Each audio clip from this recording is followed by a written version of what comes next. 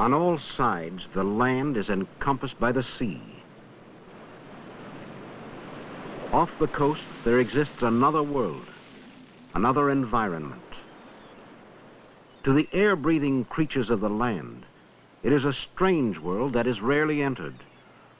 Although from the dawn of history, man has used the sea as a rich hunting ground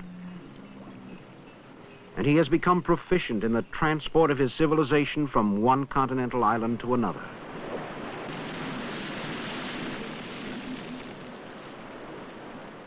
But man has even closer ties with the sea. For we believe that it was in this favorable environment that life on our planet originated.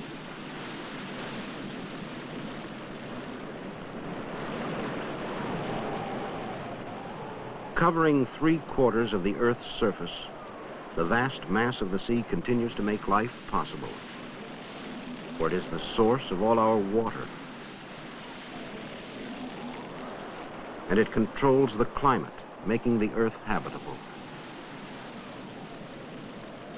Soaking up energy from the sun, stirred by the moon and by the winds, the sea is the most powerful force on Earth.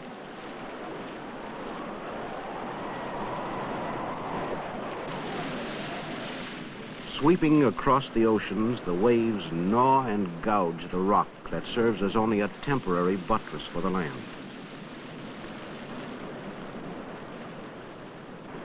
Constantly, it etches new designs in the stone. A continual story of erosion.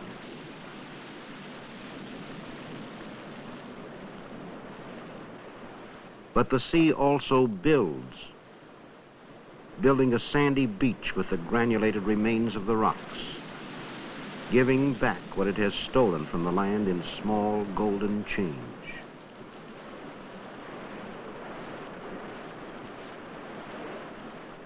On these sandy beaches, there are few animals, for there is nothing solid for them to hold on to when the waves come sweeping in. The small crustaceans and mollusks that live here have to contend not only with voracious gulls, at low tide, they also have to face the problem of drying out in the air. So they bury themselves in the wet sand or find shallow pools.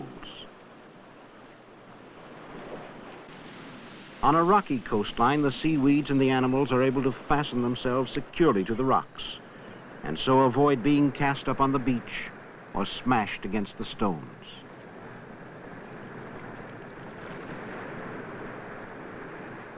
In the pockets of water left by the retreating tide, there is gathered a rich variety of animal life. Brilliant red sponges, beautiful sea anemones. In these quiet tidal pools, crabs and starfish find havens until the sea returns. In the meanwhile, their normal pattern of life continues. The anemone's flower-like beauty is deceptive. A nereid worm caught in the tentacles is injected with poison before being dragged down into the animal's sac-like body. But there are some creatures of the intertidal zone that can withstand exposure to the air. The clams, barnacles, and limpets that cover the rocks use their shells to prevent their body water from evaporating. And they anchor themselves tightly to the rock so that the rushing tide cannot pry them loose.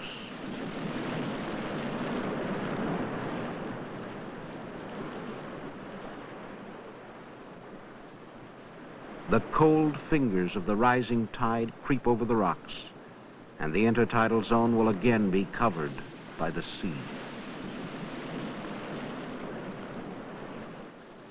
Living permanently beneath the surface are creatures that do not have to contend with the hazards of tides and surf.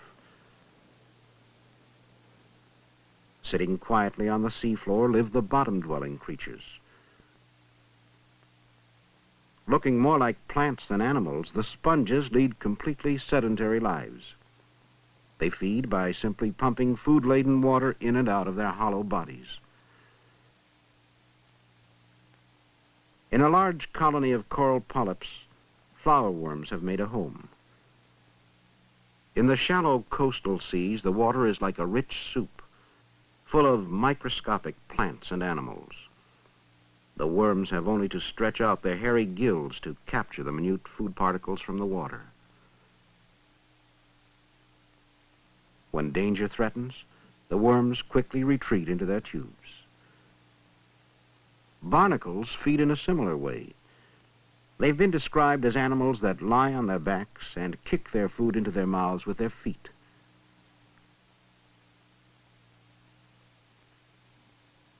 Surrounded by food, locomotion isn't necessary for many bottom-dwelling animals.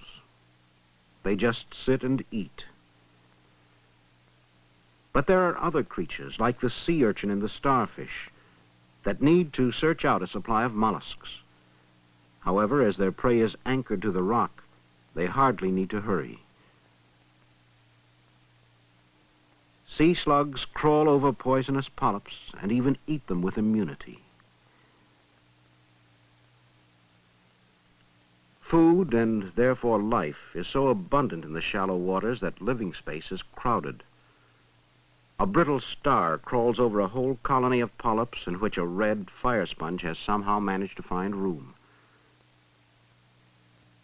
And the hermit crab, having found an empty shell for its temporary home, also has to carry around the anemone that has enveloped the outside of the shell.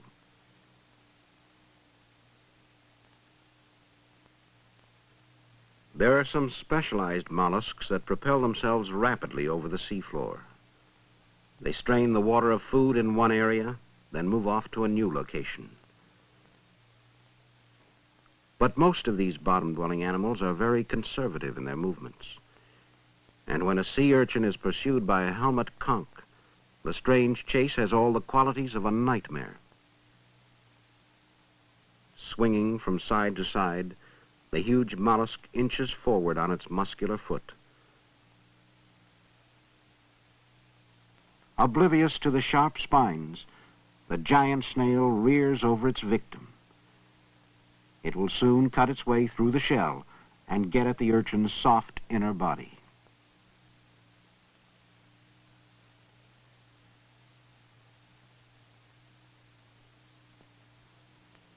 Many of these benthic creatures, the bottom dwellers of the seafloor, live by scavenging the animal refuse. They help to keep the seas clear of dead fish and other decaying matter.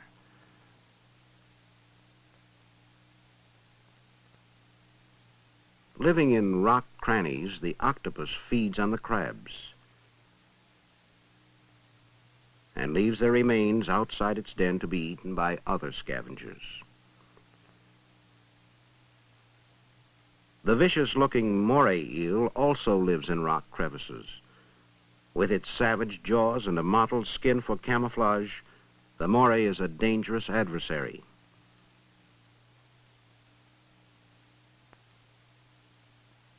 But the master of camouflage is the scorpion fish. It walks about the seafloor on its pectoral fins, then settles down to wait. Small fishes mistake the tags and tatters of its skin as something edible. Mistakes of this sort are usually paid for with one's life. All these benthic animals that live and die on the bottom have one thing in common. They cannot rise above it. They are fettered to the ocean floor. Quite different are the free-swimming animals like the shark and the ray. The rays, which burrow in the sand for clams, may feed off the bottom, but they have the tremendous advantage of mobility. Buoyed up by the water, they can move through it in any direction and are able to forage for their food over large areas of the sea. The free-swimming fish are the monarchs of the open waters. Their success is due to their mobility, their keen senses, and their relative intelligence. Here, a fish is having its scales cleaned of parasites by one of the smaller brethren. Even unto the jaws of death the little fish pursue their task. An interesting relationship.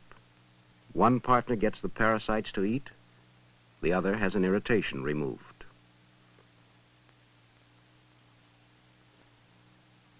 Some fishes browse on the algal plants that grow like a furry slime on the rocks.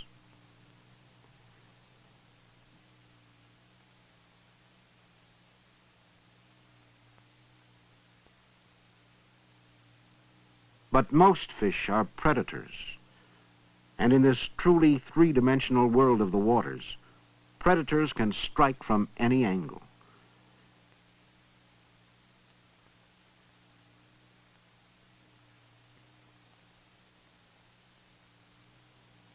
However, there are some inhabitants of the open waters that are well equipped for a defensive existence. At the approach of danger, the spiny puffer inflates itself, its erect quills a formidable deterrent to potential aggressors. Though not so well endowed, the tiny boxer shrimp can nevertheless fend off large fish with its warlike display. But most creatures of the sea usually find a crack in the rocks or bury themselves in the sand when not actively engaged in the search for food.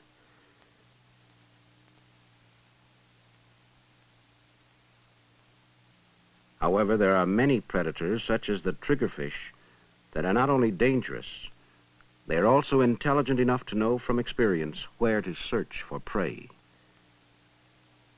Blowing hard, the queen trigger prospects for a possible victim. Disturbed, the crab retaliates violently.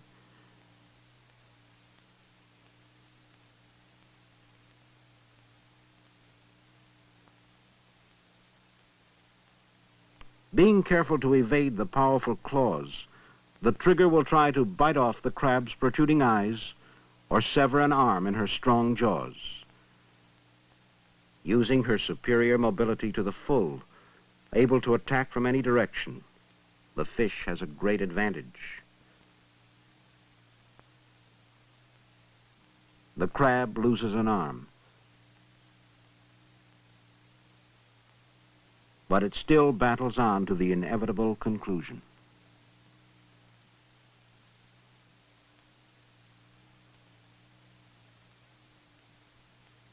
But there is a beauty in the sea as well as violent death. A school of graceful squid hover in the water, holding their tentacles so tightly together that they look more like slender beaks. These squid and the beautiful marine jellyfish are really living fossils. Swimming by rhythmic contractions of their cup-shaped bells, their ancestors lived and thrived in the warm seas of the Precambrian age, 600 million years ago. 200 million years later, large squid-like creatures dominated the seas. Even today, there are squid that are 50 feet long, giants that battle the predatory sperm whales half a mile beneath the ocean surface. Originally creatures of the land, the whales invaded the sea some 70 million years ago. With their bodies better supported by the water, they developed into a massive size. Blue whales, 100 feet long and weighing 150 tons, are the most gigantic creatures that have ever lived. The dolphins, members of the whale family, are intelligent social creatures. They communicate with each other by squeaks and have complicated brains comparable to man's. All these mammals of the sea, whether whales or seals, are true warm-blooded creatures that breathe air and bear their young alive.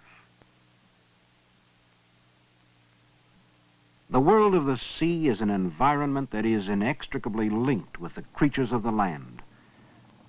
But although man has traveled its surface and suffered the ravages of its storms for centuries, fear of the unknown and fear of terrible sea monsters severely discouraged active exploration.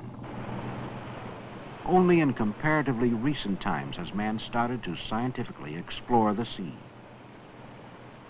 Oceanographers and marine biologists, the scientists of the sea, chart the oceanic rivers, the currents, and study the ocean floor and the plant and animal populations. By sending sampling bottles to various depths, they can analyze the water for salt content and nutrients. Biologists determine the distribution and variety of the animals on the ocean's floor by using large dredges. Sweeping across the bottom, they scoop up samples of the life that exists in the deeper waters. But these dredging operations, however useful, are really only a primitive fumbling in the dark. To appreciate the problems of deep sea research, one must know something of the geography of the sea. Around the coasts, the sea is relatively shallow. This is the continental shelf, and most of the sea's creatures live in these sunlit waters. For it is only in the upper few hundred feet that there is enough sunlight to sustain the plants of the sea. Beneath the sunlit surface lie the great depths of the ocean, a steep plunge of 12 and sometimes 18,000 feet down into the dark waters of the abyss. Although parts of the seafloor are completely flat, there is also a rugged submarine terrain of mountain ranges and active volcanoes that tower thousands of feet above the seafloor. It is this vast environment that oceanographers are determined to explore with echo sounder, dredge, even in person. To invade these Stygian depths, man has encased himself in a steel shell. The pioneer of deep-sea exploration was William Beebe, but it was left to Auguste Piccard's bathyscaphe to make the ultimate descent.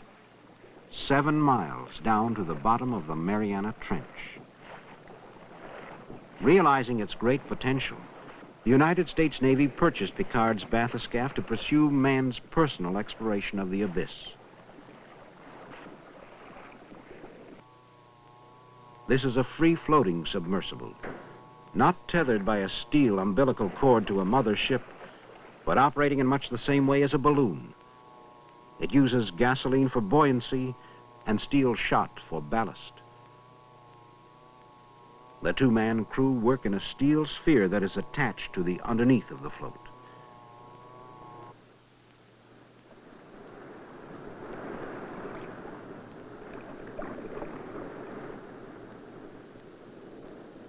Slowly, the intruders leave the sun behind and gradually sink into an uncharted land of perpetual night.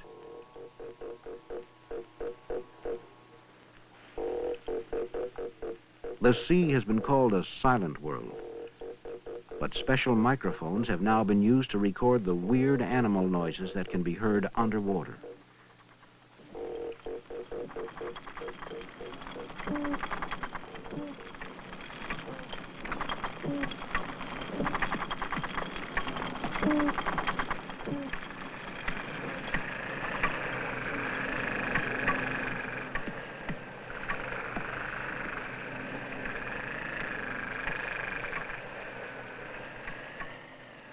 Without light, there can be no plants. So the basic food supply of this sunless place consists only of the morsels of dead animals and plants that have drifted down from the surface waters. With food at a premium, the life of the deep ocean is sparse. In this dark void live the strange creatures of the abyss.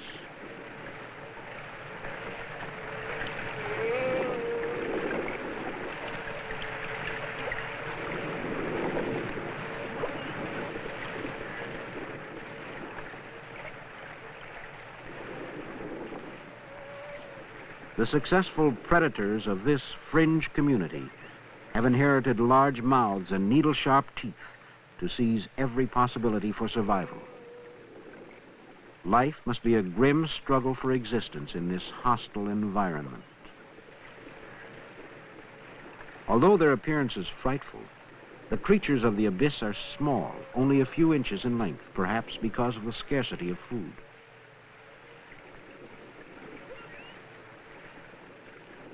Seen in the dark, many of the fish are luminescent. Their lights are probably used to lure prey within reach of their sharp teeth.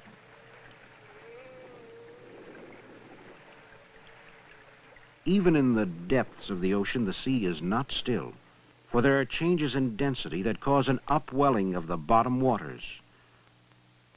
As the water rises to the surface, it carries with it the valuable minerals that have settled on the ocean floor. These minerals are the essential nutrients for the plants of the ocean, the phytoplankton. These minute plants drift about with the currents and are so small that they can only be seen through a microscope. But the diatoms, single cells only a thousandth of an inch in diameter, are nevertheless the basic food supply of the sea. On these tiny plants feed the zooplankton, minute animals like the copepod. The zooplankton consists of a myriad of microscopic animals, tiny squid, the larvae of sea urchins and crabs, a whole world of small animals. And all of them feed on the diatoms and each other.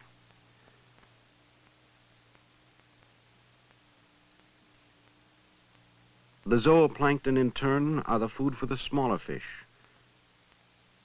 And these food chains continue inexorably.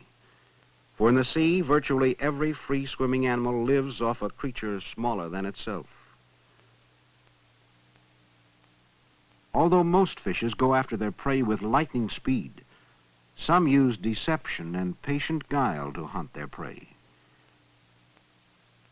Hanging vertically to mimic the nearby finger sponges, the trumpet fish drifts slowly towards its victim.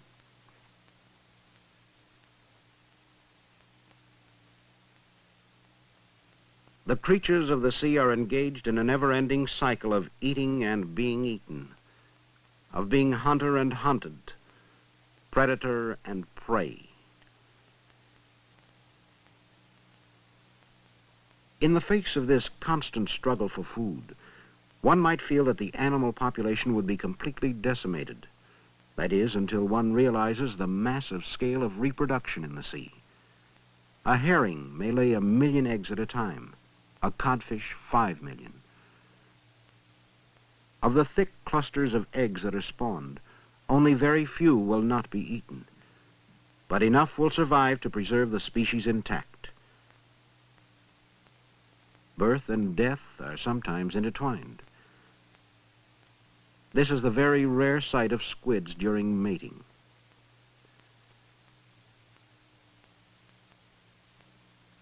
The climax results in the parent's death, and their bodies litter the sea floor.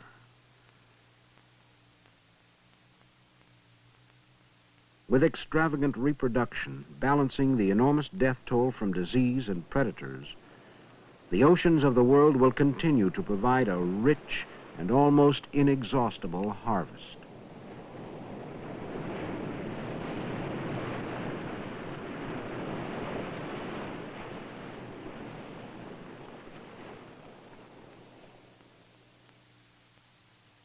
This world of the sea, referred to by the ecologists as the marine biome, this rich and varied community of interdependent plants and animals, is also a world of great natural beauty.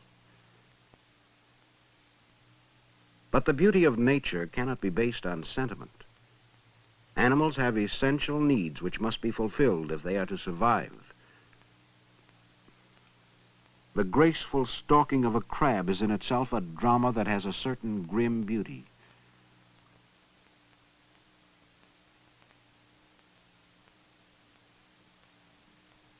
All life is conditioned by the availability of a suitable food supply, and the creatures are wonderfully well adapted to their needs. The swift, graceful movements,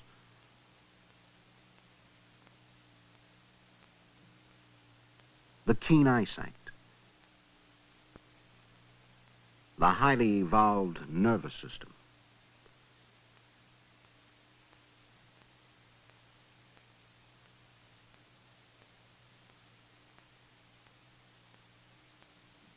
From the eternal night of the deep ocean to the sunlit shallows of the coast, the sea enfolds the richest variety of animal life on Earth.